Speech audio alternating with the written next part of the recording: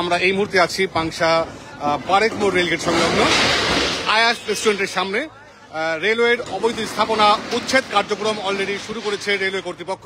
আপনারা দেখতে পাচ্ছেন যে পাংশা বারেক মোড় আয়াস রেস্টুরেন্টটি কিন্তু রেলওয়ে কর্তৃপক্ষ ভেঙে গুড়িয়ে দিচ্ছে। দেখুন।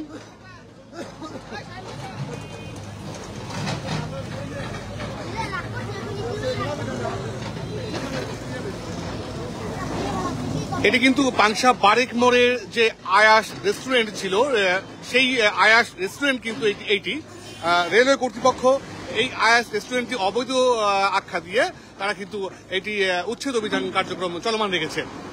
যদিও আয়াস রেস্টুরেন্টের মালিক আমাদেরকে জানিয়েছে যে তারা বৈধ ছিল, রেলওয়ে কর্তৃপক্ষ জোর করে এটা কিন্তু করছে তারা। তো আপনারা দেখছেন যে ভাঙচুর কার্যক্রম বা উচ্ছেদ অভিযান কার্যক্রম চলমান রয়েছে। বুলডোজার দিয়ে রেলওয়ে কর্তৃপক্ষ কিন্তু আয়াস রেস্টুরেন্টটি ভেঙে গুড়িয়ে দিচ্ছে। এখানে কিন্তু যে ধ্বংসাত্মক যে আলামত, সেটা কিন্তু পরিলক্ষিত হচ্ছে, আপনারা দেখতে পাচ্ছেন। শুধু এই পাশেই না, দর্শক আমরা দেখানোর চেষ্টা করব যে এছাড়াও রেলওয়ে কর্তৃপক্ষ যে কি বলে আইএস স্টুডেন্টের পাশে যে আরও যেগুলো পাংশা পারেক মোড়ে অবৈধ স্থাপনা রয়েছে, সেই অবৈধ স্থাপনাগুলো কিন্তু ভেঙে গুড়িয়ে দিচ্ছে। এখানে রেলওয়ে কর্তৃপক্ষ থেকে যে প্রশাসনের কর্মকর্তাগণ এসেছেন, এছাড়াও পাংশা মডেল থানা পুলিশের পক্ষ থেকে কিন্তু প্রশাসনের লোকজন এখানে এসেছেন। এছাড়াও অনেক জনসাধারণ কিন্তু এখানে ভিড় করছেন, এই উচ্ছেদ অভিযান দেখছেন। আসলে আপনারা দেখছেন যে, এখানেও কিন্তু একটা বুলডোজার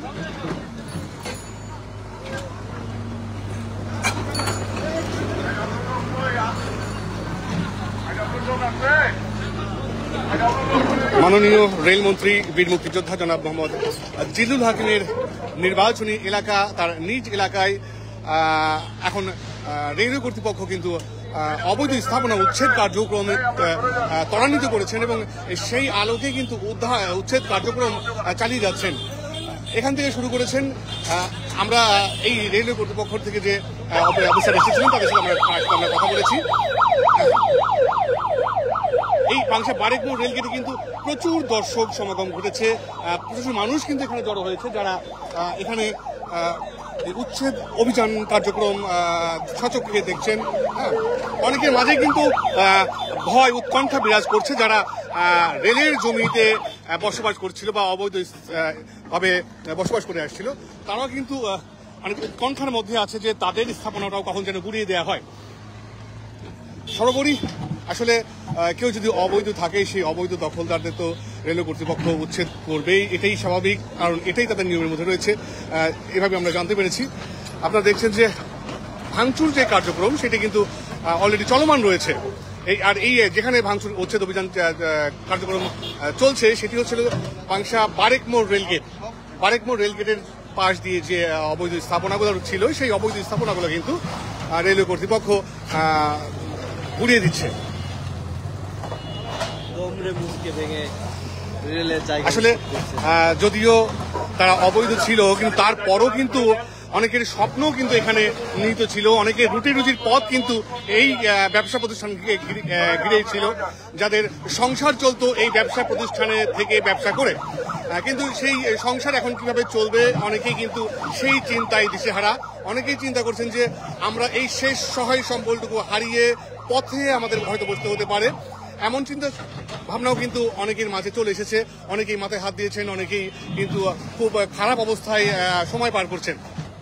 কিন্তু এরপরেও কিন্তু রেলওয়ে কর্তৃপক্ষ কিছু করার নেই। কেননা রেলওয়ে কর্তৃপক্ষ ইতিপূর্বে কিন্তু মাইকিং করে মানুষকে জানিয়ে দিয়েছে, যারা অবৈধ স্থাপনা স্থাপন করে আছেন, তারা যেন অতি সত্ত্বর নির্দিষ্ট সময়ের মধ্যে এখান থেকে সরে চলে যায়। অনেকে হয়তো বিষয়টা কর্ণপাত করেনি, হয়তো কিছু হবে না ভেবে নিয়েছিল, কিন্তু রেলওয়ে কর্তৃপক্ষ তাদের অবস্থানে অনর থেকে কিন্তু তারা তাদের উদ্ধার কার্য অভিযান কার্যক্রম পরিচালিত করে যাচ্ছেন। এই অভিযান কার্যক্রম কিন্তু এখানেই সীমাবদ্ধ না বা এখানেই শেষ নয়। রেলওয়ে কর্তৃপক্ষ থেকে যে অফিসার এসেছেন, তিনি আমাদের যেমনটি জানিয়েছেন যে এই অভিযান কিন্তু চলমান থাকবে। এই অভিযানের অংশ হিসেবেই কিন্তু এটি এখানে হচ্ছে। আর এই অভিযান যে আজকে পাংশাতে এটাই প্রথম। মাননীয় রেলমন্ত্রী বীর মুক্তিযোদ্ধা জনাব মোহাম্মদ জিল্লুল হাকিমের নির্বাচনী এলাকায়, নিজ এলাকায় রেলওয়ের যে অবৈধ স্থাপনা, উচ্ছেদ অভিযান, এটি কিন্তু প্রথম আজকে প্রথম। এই কিন্তু এখানে প্রথম না, এখানে শেষ করে আরও আগামীতে পর্যায়ক্রমে কিন্তু তারা এই অভিযান কার্যক্রম চলমান রাখবে।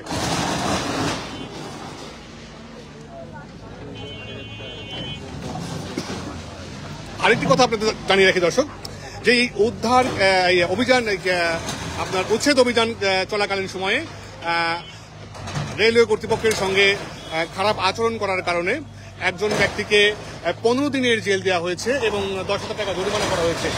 এছাড়াও আরেকজনকে কিন্তু এক ঘণ্টার জন্য সাময়িক শাস্তি দেওয়া হয়েছিল এবং তাকে সেই শাস্তি শেষে তাকে ছেড়ে দেওয়া হয়েছে।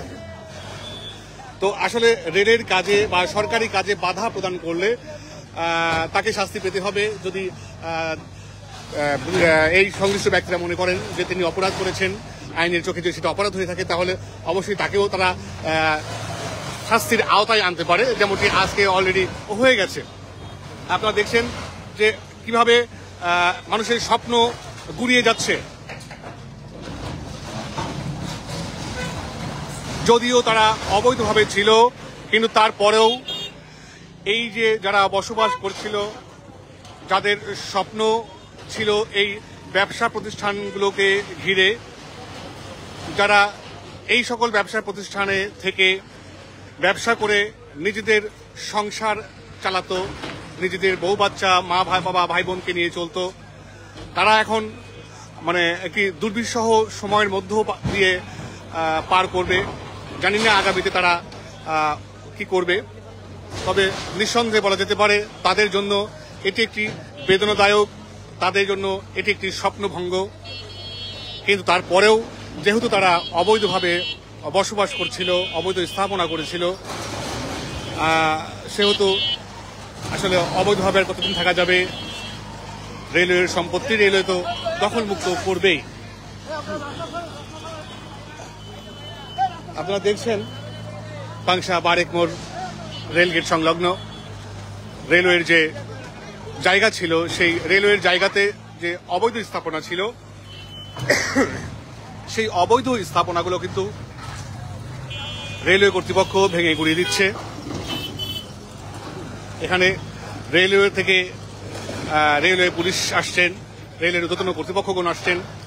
এছাড়াও বাংশা মডেল থানা পুলিশের টিম এখানে কিন্তু আইন শৃঙ্খলা রক্ষার্থে তারা নিয়োজিত আছেন। তারা সজাগ দৃষ্টি রেখেছেন যেন কোনো অপ্রীতিকর ঘটনা না ঘটে। পাশাপাশি আরেকটি কথা বলতে চাই যে মানে যে কথাটা ইতিপূর্বেও হয়তো বলে গেছে আপনাদের, একটি মানুষ তার কষ্টার্জিত টাকা দিয়ে স্থাপনা করেছিল, আবার সেই স্থাপনায় সে নিজে হোক বা অন্য কোনো ব্যক্তি হোক স্থাপনাটি ভাড়া নিয়ে ব্যবসা চালিয়ে যাচ্ছিল। আজ তারা কিন্তু দিশেহারা। এই উচ্ছেদ অভিযান চলার কারণে এই স্থাপনাগুলো ভেঙে গুড়িয়ে দেওয়ার কারণে। কিন্তু তারপরেও কিছু করার নেই, কারণ আইনের চোখে তারা অবৈধ, রেলওয়ের চোখে তারা অবৈধ। যে কারণেই তাদেরকে এই ক্ষতির শিকার হতে হচ্ছে, এই ত্যাগ করতে হচ্ছে। আপনারা দেখছেন এদিকেও অনেক দর্শক রয়েছে সামনে বারেক মোড়ে। অনেকেই কিন্তু উদ্বেগ, উৎকণ্ঠার মধ্য দিয়ে এই সময় পার করছেন।